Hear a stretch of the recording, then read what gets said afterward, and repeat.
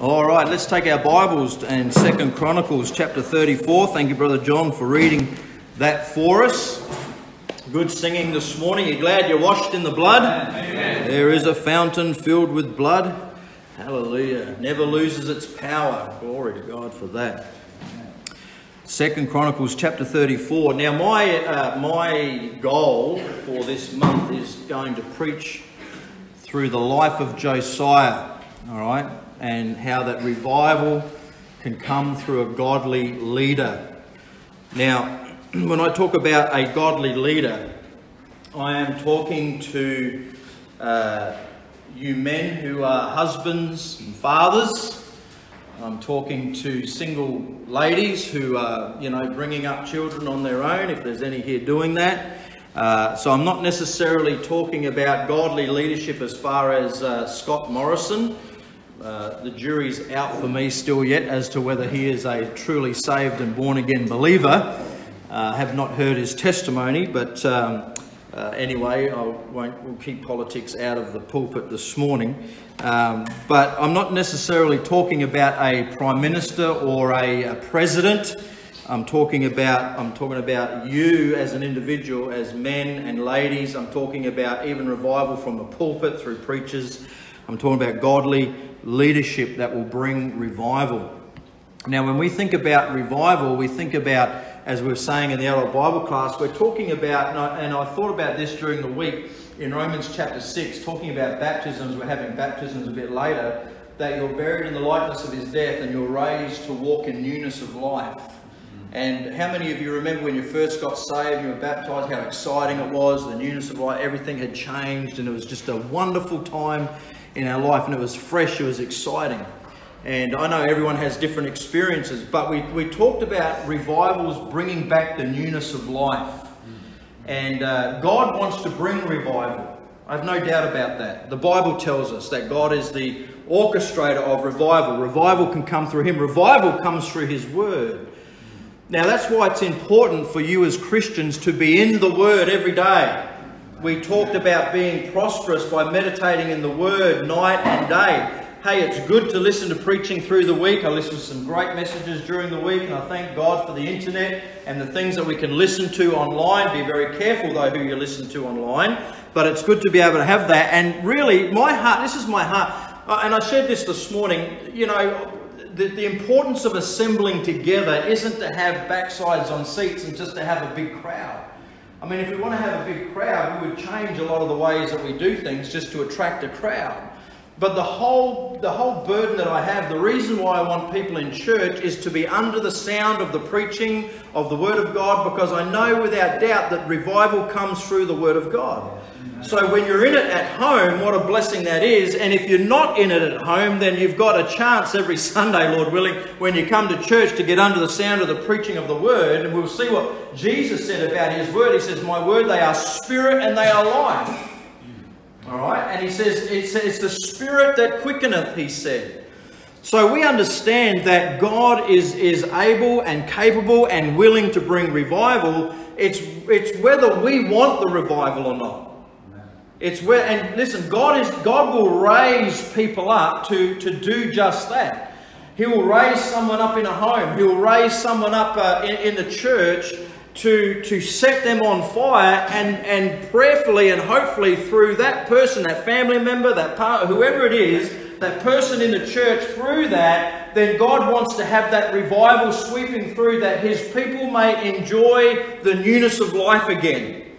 Uh, how many of us have been through a bushfire? Anyone been through a bushfire before?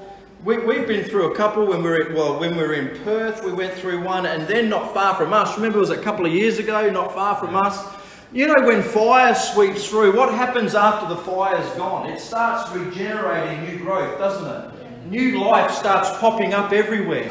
And so, the, one of the reasons why God wants to bring revival into our hearts is to. Uh, you're right, everyone okay? All right, we're all settled. All right, one reason why God wants to bring revival into our hearts is to so called burn up all the rubbish in our life to bring about new life. All right, new life, new life in Christ. So here we're introduced to a young man by the name of Josiah. Now, Josiah took the throne when he was how old? Eight years old. He was a child when he took the throne. Now, he took over after a number of years of bad leadership amongst Judah. His father, Manasseh, was a bad leader. His grandfather was a bad leader. And uh, we see that, that, that Judah, in particular Israel as well, all of God's people were struggling. They were, they were an idolatrous nation. They had, by the way, the idolatry began with Solomon. I mean, Crazy man. How many wives and concubines? I mean, 700 wives, 300 concubines, and it was, sorry ladies, it was the women that turned his heart away from God to follow false gods. And through, now the wisest man in the world, apart from Jesus Christ, through that, Israel, God's people started down the slippery slope of idolatry. Who remembers King Ahab? Remember Ahab? He married Jezebel, who was the, the daughter of one of the priests of Baal.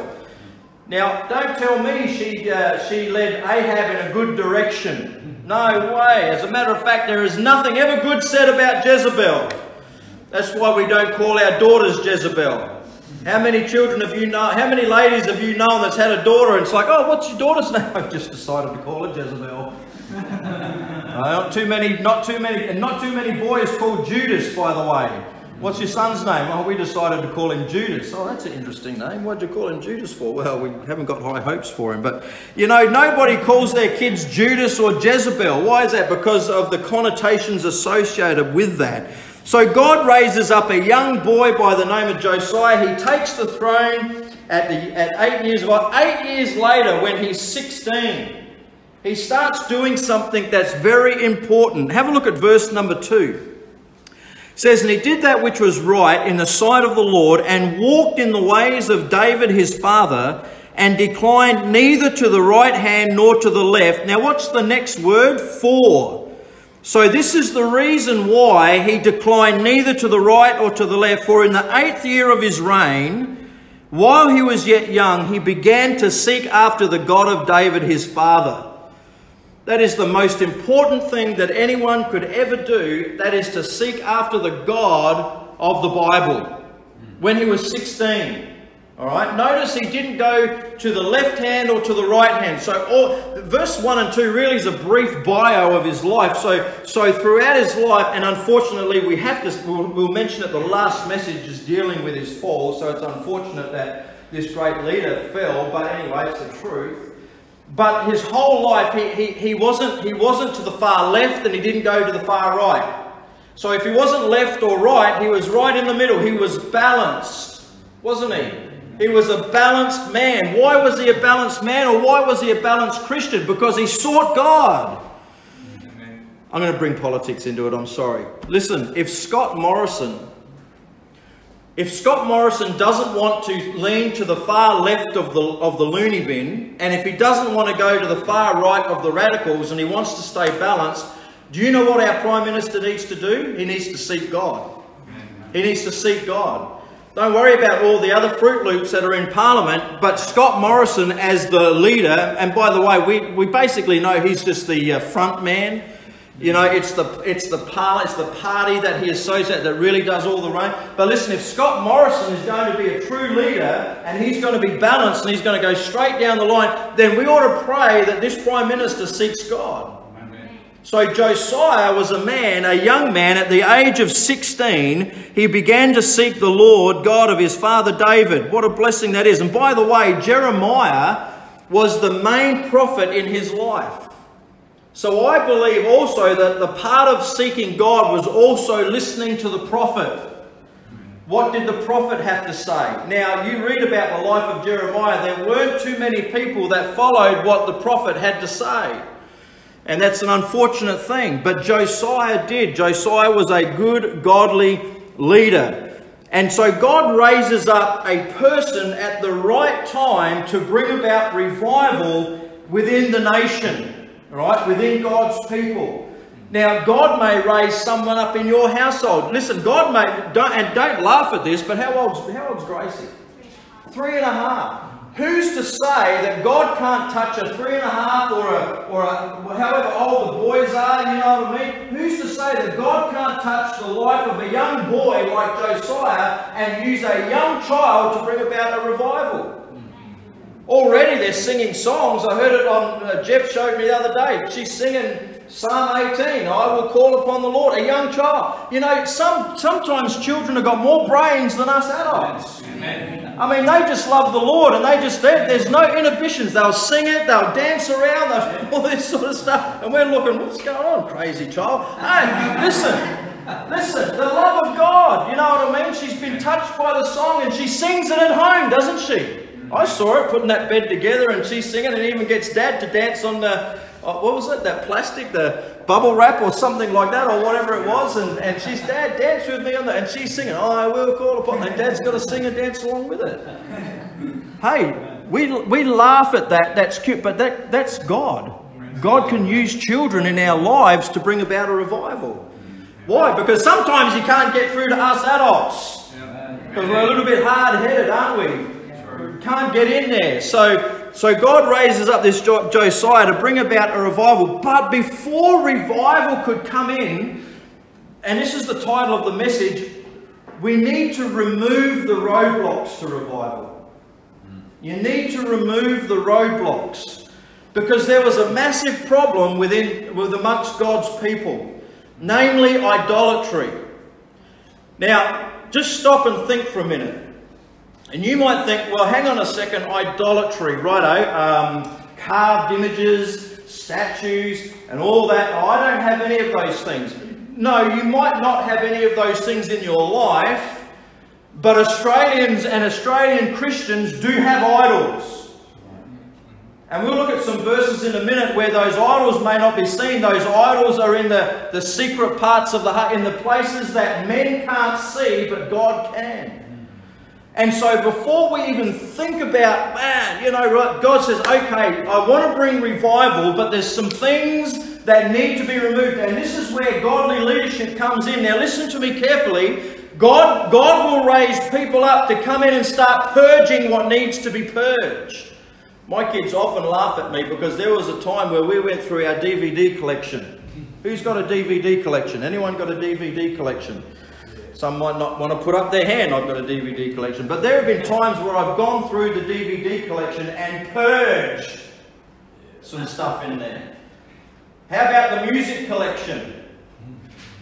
How about the music collection? Is there anything in that collection that you have that doesn't glorify and magnify the Lord? If there's stuff in our lives that don't glorify and magnify the Lord, then it's glorifying and magnifying something else. And that's an issue in the life of God's people. And those things need to be purged and got rid of. At the age of 20, now get this, at the age of 20, in his 12th year, when he was 20 years old, he began to purge Judah and Jerusalem.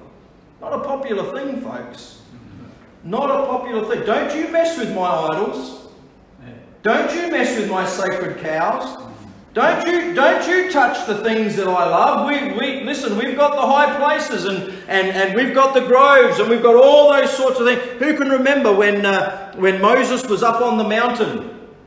Right, in the presence of God, and Aaron's down in the in the valley there, and the person said, "Hey, Aaron, get up and make us a god." All right, you give us all the gold and everything. And uh, they, what did he do? He made a golden calf, and they're all dancing around naked, woohoo, worshiping the wrong thing.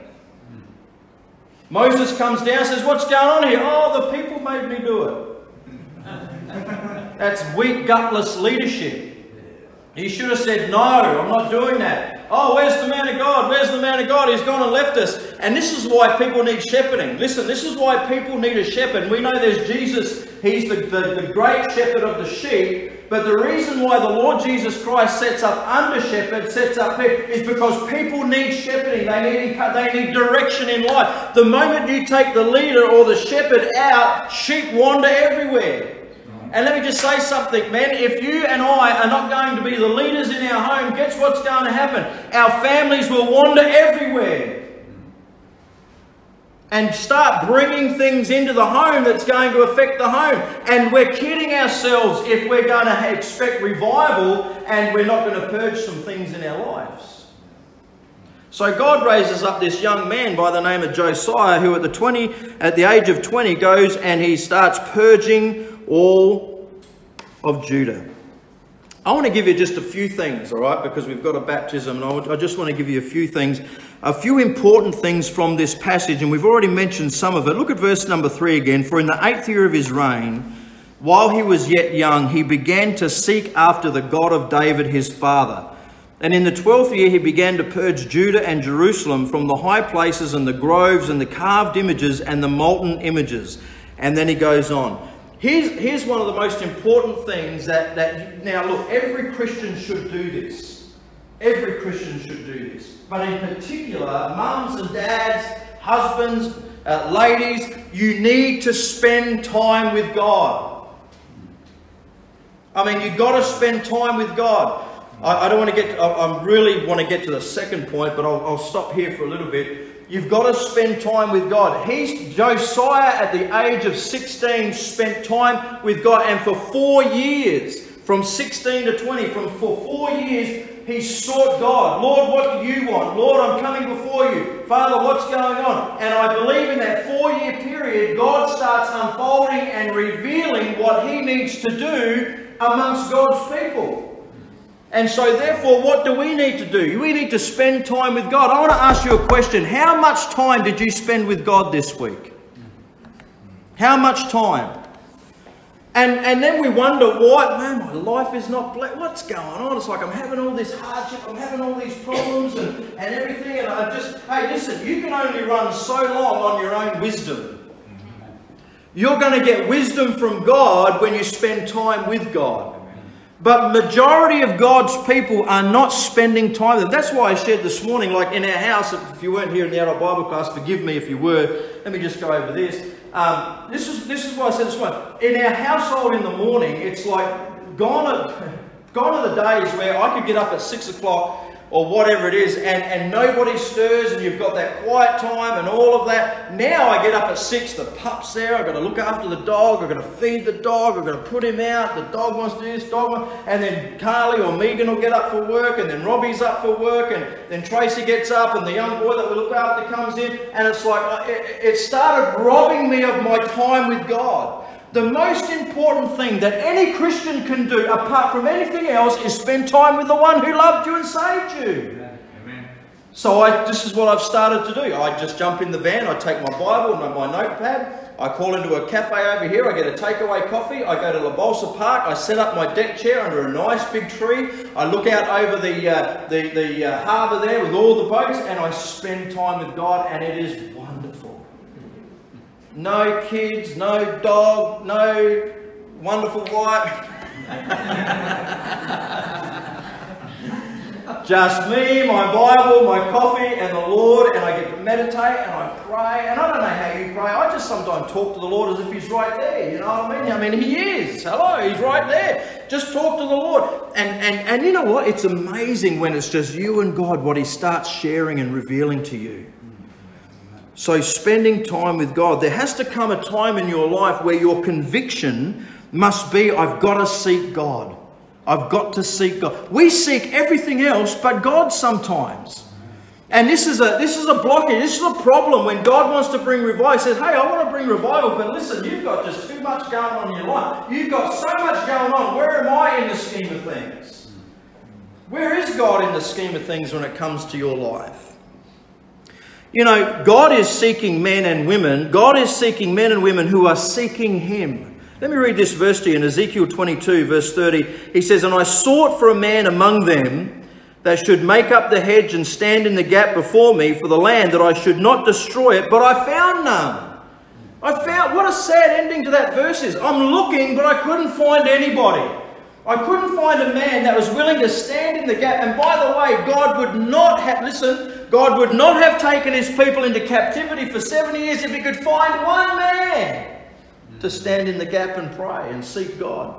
That's what he says, but I couldn't find any. Why? You know why? Because sometimes we're so busy seeking everything else, we're running left, right, center, all over the place, except going to the one that we need to go to the most, and that is God Himself. Paul said this in 1 Corinthians 13. He says, When I became a man, I put away childish things. Hmm. Now, I don't want to tread on toes here, but I'm amazed at the age group that there are some. Oh, anyway. Oh.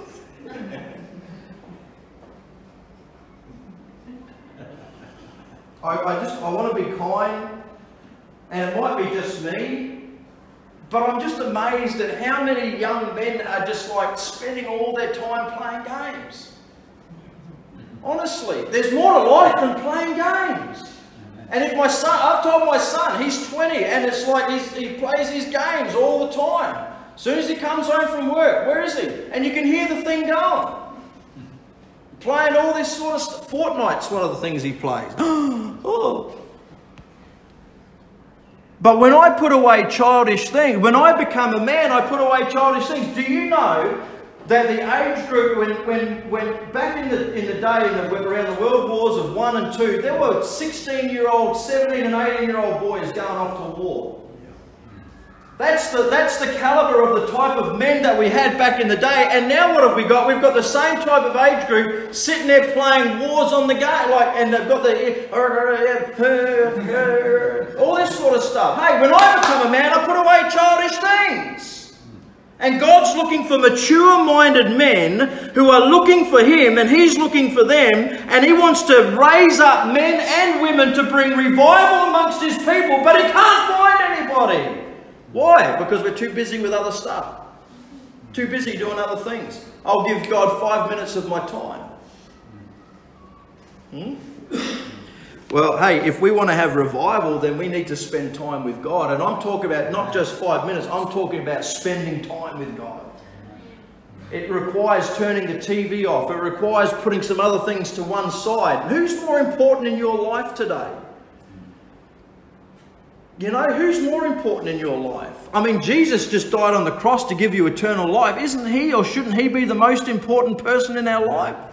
I was going to write this, it was Tracy's birthday the other day. I was going to write this in her card. I was going to put the love of my life, and then I was going to put like a pause. Jesus, then I was going to put Jesus first, but you definitely come before the pup. You know what I mean? Like, you know? I didn't for, for uh, posterity reasons. I wanted to be here today, you know what I mean? If I'd done that, Tracy, in my sleep, but you know, we think of our wives, don't we? I mean, our wives are very important to us. And ladies, I hope your husbands are very important to you. But let me just say this, and I've said this before my wife Tracy is not more important than my Saviour Jesus. Now, when Jesus is, is the most important person in my life, then my relationship with my wife is going to be good. All right? And the same with my children. All right? But Jesus, we sing it first, J O Y. Jesus first, yourself last, others in between. But unfortunately, Jesus is not first. We live in a society where self is always number one. We live in the selfish society. We, we mentioned that before. So, what was the problem? What was the problem? Here's the, here's the problem that Israel or the, the people of God had. Listen to this. There was no room for the real God in their life. There was no room for the real God. Why is that? Well, look at verse number four. And we've already mentioned about the groves and the carved images, the molten images, and they break down the altars of Baalim in his presence. The images that now you can imagine this, he's 20 years old and he's destroying everything that the people know. He's destroying everything that they love.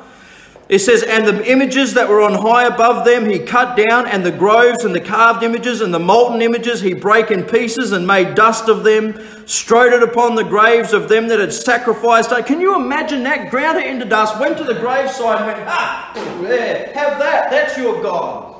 Yeah, and people are watching this and they're like, wow, what's going on here? Well, I tell you what's happened. God's just raised up a man to bring some revival to his people. Verse 5 And he burnt the bones of the priests upon the altars and cleansed Judah and Jerusalem. And so did he in the cities of Manasseh and Ephraim, Simeon, even unto Naphtali with their mattocks round about. And when he had broken down the altars and the groves, and he had beaten the graven images into powder, and cut down all the idols throughout all the land of Israel, he returned to Jerusalem. He didn't stop until he had finished. He went right through and cleansed the lot. Why? Because there was no room for the real God. Why was that? Because they had other things in their life.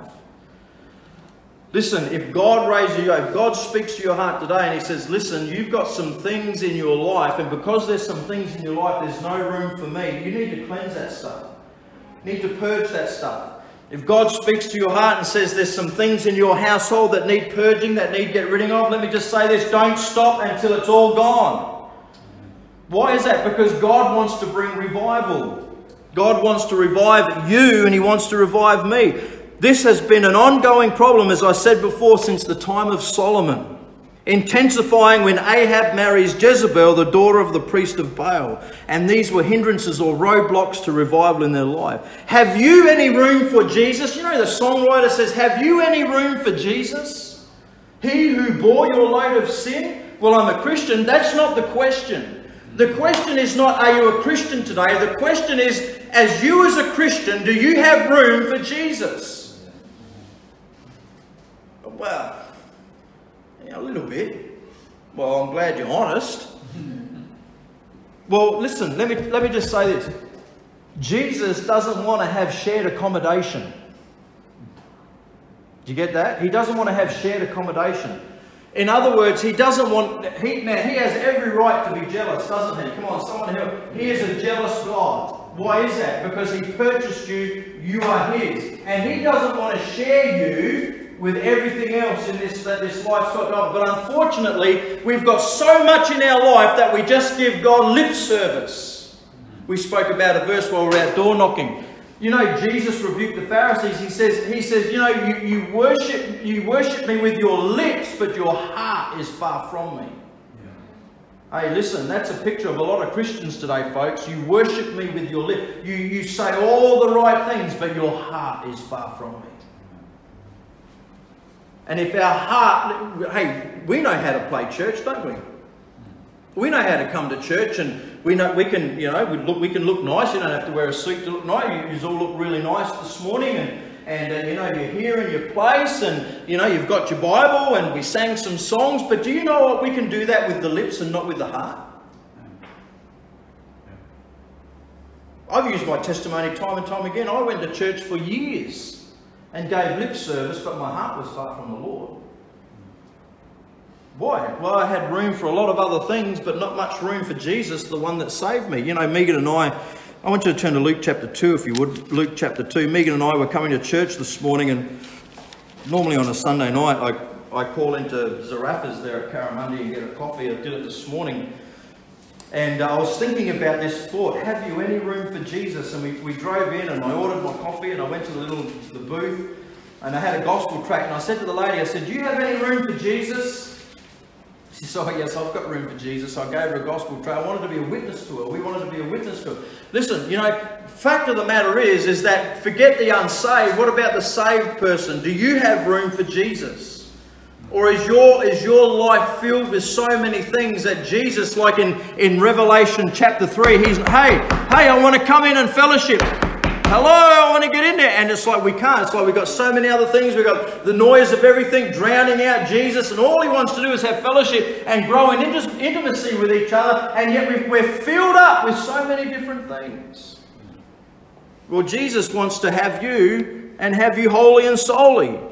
Have a look at this, Luke chapter 2, talking about the birth of Christ. Verse number 1 It came to pass in those days that there went out a decree from Caesar Augustus that all the world should be taxed. This taxing was first made when Cyrenius was governor of Syria, and all went to be taxed, everyone into his own city. Joseph also went up from Galilee out of the city of Nazareth into Judea, unto the city of David, which is called Bethlehem, because he was of the house and lineage of David, to be taxed with Mary, his espoused wife, being great with child. Folks, it was a busy time. This was a big event. Get that? It was a big event. Verse 6 And so it was that while they were there, the days were accomplished that she should be delivered, and she brought forth her firstborn son, wrapped him in swaddling clothes, and laid him in a manger. Why? Because there was no room for them in the inn. There was no room. The innkeeper said, We don't have room for you. We don't have room for Jesus. But this same innkeeper had room for everybody else, had rooms for his family, had room for his friends, had room for all the event that was going on. And you know what? I thought about that and I thought, you know what? That is a picture of Christianity today. We make room for our friends, we make room for our family, we make room for, for great events that are going on in the world, and we go and support all the worldly things, and yet some of us can't even be bothered turning up for church. Have you any room for Jesus, He who bore your load of sin? Got room for everything else but Jesus Christ, and we expect revival. Listen, we won't have revival unless we first remove the roadblocks that are in our life. Have a look at Ezekiel chapter 8, if you would. Ezekiel chapter 8. We might not, as I said, we might not have the wood and the stone, but what about the other things? Ezekiel chapter 8. Look at verse number 12. Ezekiel chapter 8 and verse number 12.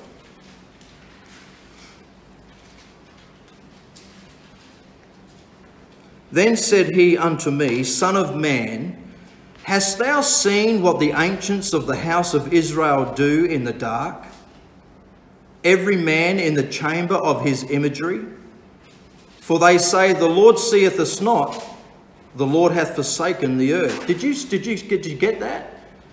Did you hear what he said? Son of man, hast thou seen what the ancients of Israel, the house of Israel, do in the dark? every man in the chamber of his imagery. Do you see that? See, it doesn't matter what you listen. We might be able to hide things in the daytime. We can hide things from each other. All right? Ezekiel chapter 8, verse number 12. But here's the thing, it's it's in the it's in the dark what we do in the dark. In the imagery of our mind. Huh? When people don't what people can't see it's what you do there that God sees that. I want you to have a look at chapter 14, Ezekiel chapter 14. Look at verse number 3.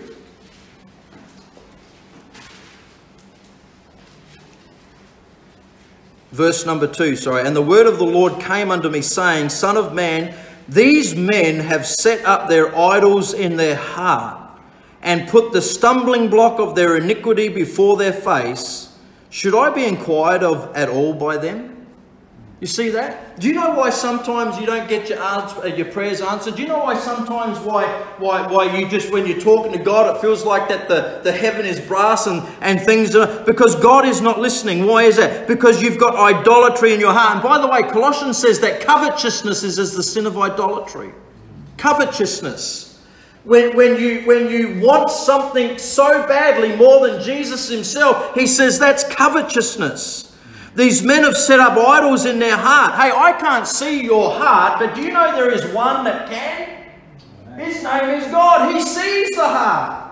But you know what he does? He uses the prophets to come in and preach and say, listen, you need to get some things right in your life. You've got something going on in your heart. You need to get rid of that because it's a stumbling block in your life. It's iniquity. And you expect God to be inquired of you while you've got things in your heart that are not right. Yeah, God is there that wants to bring revival, but it's like there's no room.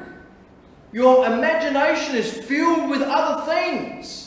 That you can't meditate on the things of God. Your heart is filled with other things. That you can't, you can't think about the things of God. And, and, listen, who should be on the throne of your heart? Not some idol in your life, not something that you want to magnify and, and are obsessed with in your life. Jesus Christ wants to be on the throne of your life. He is the one that has right to your life, not anybody else, not anything else, but Jesus himself. Hebrews 4:13 Neither is there any creature that is not manifest in his sight but all things are naked and open unto the eyes of him with whom we have to do. What man can't see God can. What man can't see God can. So what was the problem? There was no room for the real God. What's the solution? Well, you need to remove it and replace it. Remove it and replace it. Did you know that these idols did not bring real joy or life to God's people? Did you know that? They couldn't see, they couldn't hear, they couldn't speak, they couldn't touch. They were inanimate objects. They were stone, they were wood, they were, you know what I mean? It was like, and these are the things that, they, that God's people were bowing down and worshipping. You might not have that, but you have something. Now, let me do, this sounds really weird, all right? But I'll use myself as an example. This it, it sounds weird, and it's like, just listen for a minute. I, I, I love the outback. Love the bush. Man, I loved everything about it. I loved its open spaces. I loved, I loved the people out there. I loved the lifestyle. I loved the work. Trucks and motorbikes and horses and sheep and cattle and all of that. Did you know that that was my idol? Can you ride a horse? Yeah. I was four when I started riding. That was my idol. I had no room for, I was saved, but I had no room for Jesus. Because I was always thinking, wasn't I? You asked me? I was always that, it was on my mind. I was obsessed with that. I wanted to leave Adelaide, I wanted to go bush, I had enough, I wanted to go there, I wanted to, even, even today, I still think about it every now and again, and, and it's like, wow, you know, and then I think, well, how stupid was I? How stupid to want to give up a life for the Lord and go out into the bush? Stupid. But that was that was life. But you know what? I, I, can get as much. Now get this, and you'll think I'm stupid for this, but I can get as much obsessed about trucks. Now get that. I love machine. I love big machinery. Trucks, big camera. Man, I've driven all that sort of stuff. Man, 18 gear, 600 horsepower, all that sort of stuff. King of the road, man. There's nothing. There is nothing better than cruising down the road in a big, flashy, shiny machine, looking down on everybody looking down and putting the indicator on. No one wants to let you in, but you put that indicator on, you start to move over, they all back off. That's power. That's power. But you know what? Oh, you, you ask my wife, we'll be driving down the Bruce Highway, be like, you know? But that can be an idol in my life. Sport could be an idol in my life. When I was first married, instead of instead of really devoting, I'm bearing my soul here, instead of devoting all my time to my wife, do you know what I did on the weekends after working a week? I'd go out and play golf with my mates.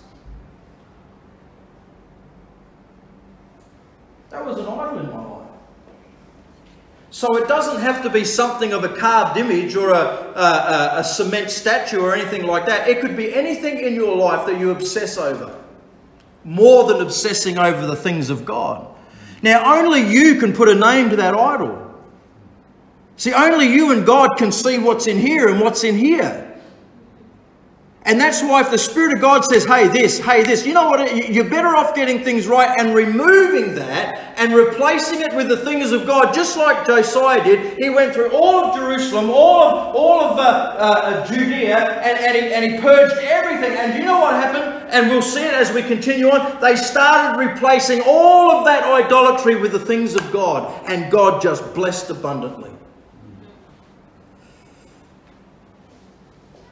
They replaced false worship with real worship. I want you to go to John chapter 6. We'll be done with this. John chapter 6.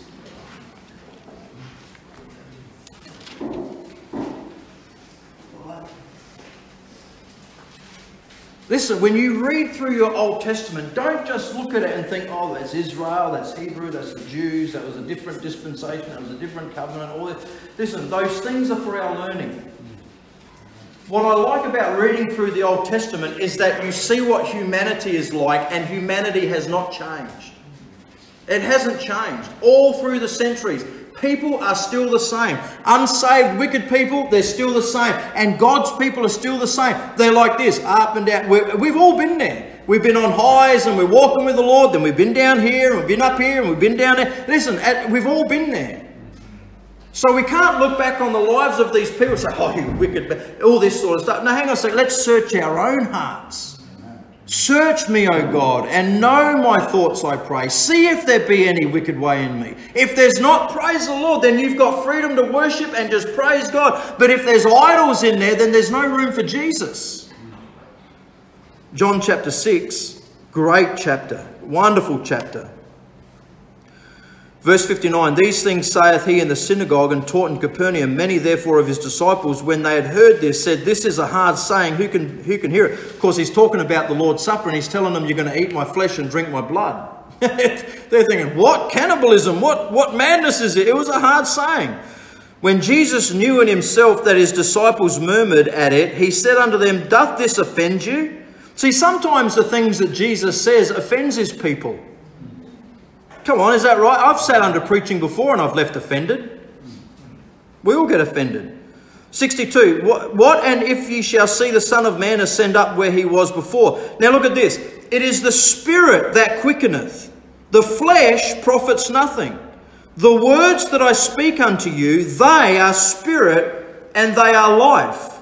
Did you see that? See, the, the idols are no, there's no life, there's no, there's no blessing, there's, there's nothing in the idol itself. But Jesus is saying, listen, the words that I speak, they are spirit. It's the spirit that quickeneth. That's why we've got to be men and women of the book. And I'll, you, I'll say this if you are a Christian, if you're a man or a lady and you're in your Bible, guess what's going to happen? When you come to a message like this, you're going to say, Yes, that's right, because through the week you've been in your word and God has spoken to you day by day and you get things cleared up day by day so that when you come to church on a Sunday, you're free to worship. And when there's a hard message that's preached, when Jesus said something that may offend, instead of offending you, you get up and say, Yes, that's right, Lord. Why is that? Because you've dealt with me with this throughout the week, because your spirit quickens and the word gives life.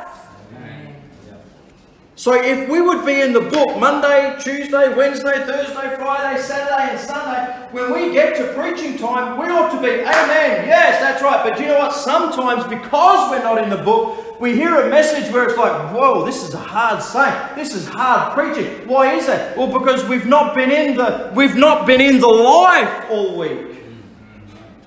So we come to the end of the week and it's like bang, bang, bang. I just man, I got smacked around today at church and oh, man, I don't know if I can go back tonight and go for another round. You know, all that sort of stuff.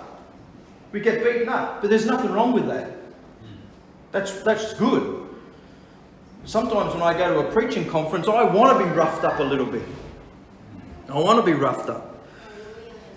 So Jesus said, It's the spirit that quickeneth, the flesh profits nothing. So, what are we going to do?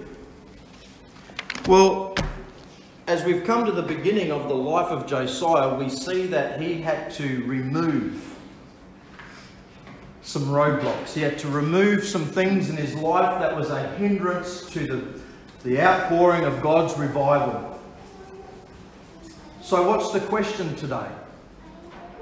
What is it that you have in your life that is a hindrance, that is a blockage to God reviving you? Doesn't matter what it is. You, you know, anything that's more important than the things of God. If there is anything that's more important in your life, and be honest, because remember last week I said revival starts with God's people being honest. Think, yeah, okay, yeah, there's some things there, and I need to make I need to make room for Jesus. Well, what you do is you remove that. But you've got to have, and this is this is true replacement theology. God, God has not replaced Israel. This is true replacement theology. You remove the roadblocks and you replace it with the things of God. Because I tell you this, you only get true fulfillment from God Himself, from the Lord Jesus Christ. You will find a temporary fulfillment in the things of this world, but it's only temporary. Satan is great at dangling the carrot. We were talking about fishing earlier on. Man, you throw that thing at Satan is good at doing that. And so from time to time, the Lord says, okay, you need to remove that and you need to replace it. So, what is it this morning in your life that you need to remove and replace it with the things of God? Amen? Let's pray. Father, we just come before you. Thank you for your goodness and blessing to us. And Lord, I do pray that this message has been one that uh, your people would take to heart. And maybe there are some things that have been revealed in the hearts of your people this morning, and that they would be honest with you and say, Yes, Lord, I need to remove that, and I need to replace it with the things of yourself. God, help us in these days, we pray. Lord, we want revival, but oftentimes we want it, but really, do we really want it? If we wanted it, we would remove some things. And so I pray, Holy Spirit, that you'd have your will and way in the service, in the song time now. We ask in Jesus' name. Amen. All right, let's. Uh,